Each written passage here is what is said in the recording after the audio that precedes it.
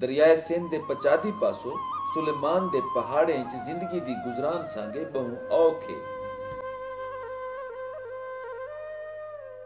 ਰਸਤੇ ਤੋਂ ਘਿਨ, ਤਾਲੀਮ, ਸਿਹਤ, ਖੁਰਾਕ ਅਤੇ ਪਾਣੀ,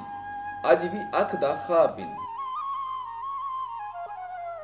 ਇਹ ਗੁਰਬਤ ਤੇ ਔਖੀ ਇਥੋਂ ਦੇ ਆਦੀ ਵਾਸੀਆਂ ਦੇ ਰਵਈਆਂ 'ਚ ਤਸ਼ੱਦਦ ਪਸੰਦੀ ਦੀ ਵੱਡੀ ਵਜ੍ਹਾ ਹੈ।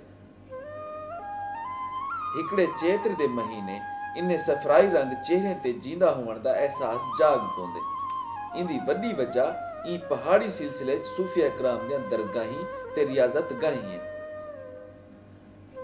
ਤੇ ਚੇਤਰ ਦੇ ਮੇਲੇ ਠੇਲੇ ਬਹੁ ਧੂਮ ਧੜਕੇ ਤੇ ਸਕਾਫਤੀ ਰੰਗ 'ਚ ਮਨਾਏ ਵੈਂਦੇ ਨੇ।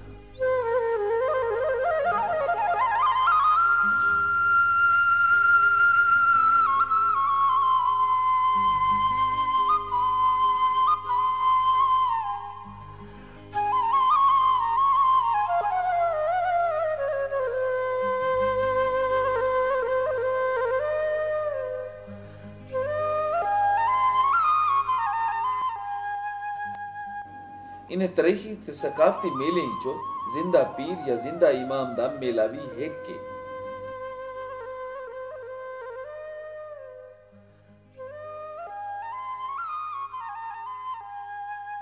ਇਹ ਮੇਲਾ ਕੋ ਸੁਲੇਮਾਨ ਚ ਇੱਕ ਰੋਦ ਕੋਹੀ ਜਾਂ ਨਏ ਦੇ ਦਰੇ ਚ ਲੱਗਦੇ ਜੈ ਕੋ ਸੋਰੀ ਨਏ ਆਖਿਆ ਵੇਦੇ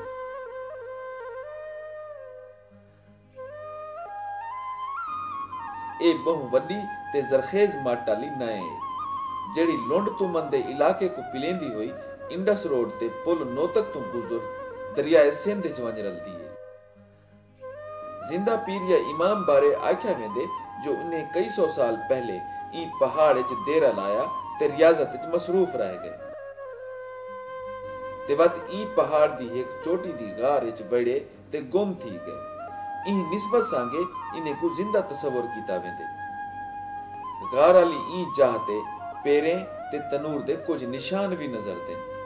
ਲੋਕ ਈ ਗਾਰ ਤੇ ਮਕਾਮ ਤੇ ਬਹੁ ਔਖਾ ਪੰਧ ਕਰਨੇ ਹੋਏ ਮਨ ਪੁੱਜਦਨ ਅਤੇ ਜ਼ਿਆਰਤ ਕਰਦੇ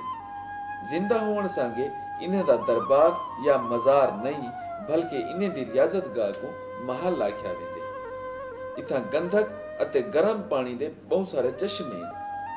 ਜਿਨੇ ਕੋ ਬਹੁਤ ਸਾਰੇ ਬਿਮਾਰੀ ਕੀਤੇ ਸ਼ਫਾ ਸਮਝਾਵੇਂਦੇ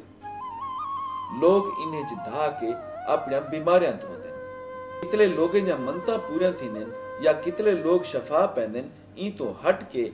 ਇਹ ਵਸੇਬੀ ਮੇਲੇ ਅਤੇ ਸਕਾਫਤੀ ਕੱਟ ਸਾਕੂ ਤਸ਼ੱਦਦ ਪਸੰਦੀ ਤੋਂ ਦੂਰ ਰੱਖਣ ਦੀ ਇੱਕ ਵੱਡੀ ਵਜ੍ਹਾ ਜ਼ਰੂਰ ਬਣਦੇ ਨੇ